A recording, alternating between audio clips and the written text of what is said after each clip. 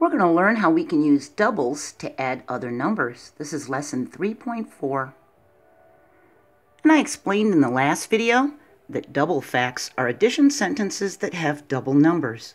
They have addends that are the same. We can use doubles to help us add other numbers. We break apart one addend to make a doubles fact with some left over. 4 plus 5 turns into 4 plus 4 plus 1.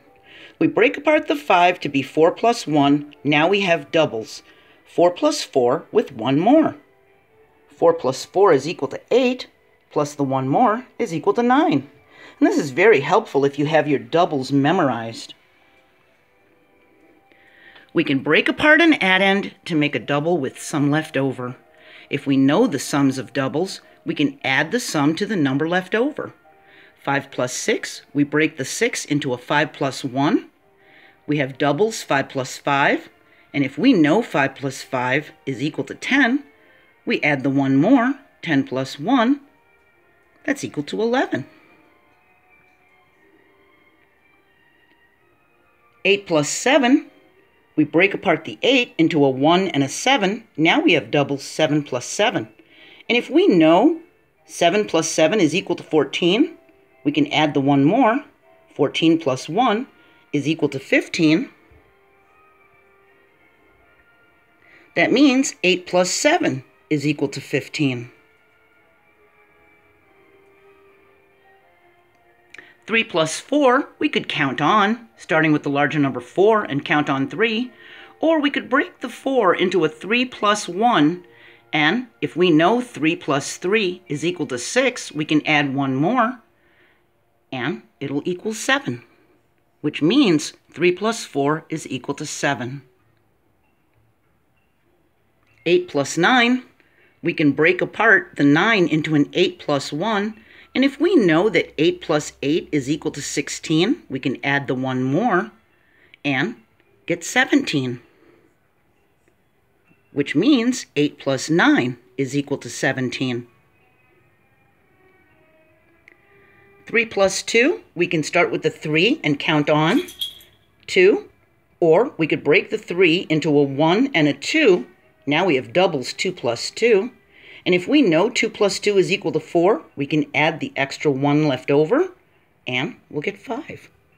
Which means 3 plus 2 is equal to 5. Would we use doubles or count on to find the sum, and why? If we have 6 plus 7, would we use doubles or count on to find the sum? Which one would be better? And if we had 6 plus 2, would we use doubles or count on? Which one would be better?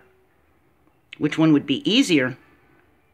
For 6 plus 7, 7 is close to 6, so we could use doubles. We could break the 7 into a 6 and a 1, now we have double 6 plus 6. And if we know 6 plus 6 is equal to 12, then one more would be 13. That means 6 plus 7 is equal to 13. For 6 plus 2, it would be better to count on. These numbers are very far apart from each other and the 2 is small. So we can start with the larger number 6 and count on 2, 6, 7, 8. 6 plus 2 is equal to 8.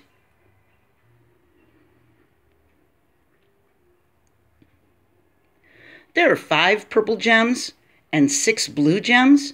How many gems are there? Use doubles to add. We have five purple gems here and six blue gems. If we break the six into five and one more, we can add 5 plus 5 plus 1. So 5 plus 6 is equal to 5 plus 5 plus 1 more. And if we know 5 plus 5 is equal to 10, 1 more would be 11. So 5 plus 6 is equal to 11. We do the 5 plus 5 to get 10 and add 1 more and we get 11.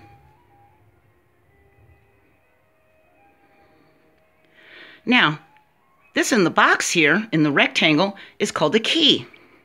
We need to find the value of these colored circles. we can use what we know about doubles to complete the key and then write the missing sums for this one and this one. So the first thing we're going to do is figure out what the values of the colored circles are. We can start with what we know about doubles. An orange one plus an orange one equals 6. What value is an orange one? Well, it's doubles. Do you know what double fact equals 6? If you said 3 plus 3, you're right. 3 plus 3 is equal to 6. That means each orange one is equal to 3. Now it's got an orange one and a green one, but we can't do this one until we find out what these values are. So we need to use the doubles. A green one plus a green one equals 8. That's a doubles fact. It's the same. Do you know what doubles fact equals 8? We can make two groups. And we can count back and forth with counters until we get to 8. 1, 2, 3, 4, 5, 6, 7, 8. That's 4 plus 4. That means each of these must be equal to 4. The green equals 4. 4 plus 4 is equal to 8. We can't do this one until we figure out the purple ones. We need that value next. What doubles fact equals 10? We can do our groups again. Make two groups to help. Count back and forth with counters. One, two, three, four, five, six, seven, eight, nine, ten. So we have 5 in this one and 5 in this one. Each purple one must be equal to 5.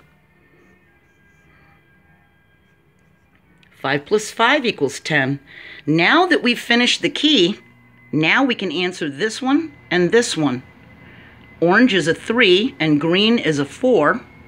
So that must be a 3 and that must be a 4. If 3 plus 3 equals 6, and this 4 is 1 more than 3, the sum must be 1 more than 6. 3 plus 3 equals 6, so 3 plus 4 must equal 7. The green ones are equal to 4, and the purple ones are equal to 5. Let's fix that. Now we have 4 plus 5. Well, if 4 plus 4 is equal to 8, and 5 is 1 more than this 4, then the sum must be 1 more than the 8. 4 plus 4 is 8. 4 plus 5 is 9. So we needed to figure out the doubles facts to figure out what the value of the colored circles in the key were, and then we were able to answer these. Now here's a key, and it tells us the value of the colors and the shapes. A green circle is 2, a blue triangle is a 3 and a red square is a 4. And we can solve these and find the sum by using that key. If a green circle is a 2, then this is a 2. If a blue triangle is a 3, then this is a 3. We can count on from the larger number 3, 4, 5. The green circle is a 2. The red square is a 4. We can count on from the larger number, the 4, and count on the 2. 4, 5, 6. The blue triangle is a 3. The red square is a 4. We can count on from the larger number, the 4, We'll count on the three, four, five, six, seven. So the key helped us solve these and find the sum. And in this one, the doubles helped us finish the key and fill in the numbers so that we could answer the other ones last. Our next lesson is doubles plus 1 and doubles minus 1. That's going to be lesson 3.5. If you liked this video and it helped you, hit the like button so I know. I'm proud of you. Keep going. Don't quit. And I hope you have a wonderful day, and I'll see you next time. Bye.